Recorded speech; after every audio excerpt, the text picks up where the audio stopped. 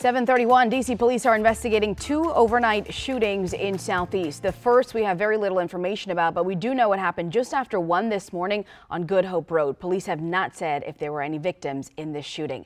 DC police are also investigating a homicide on Martin Luther King Jr. Avenue. This happened around midnight. When officers arrived, they found an adult who had been shot. That person died from their injuries. We are working to learn more about both incidents and we'll bring you the latest as we get it.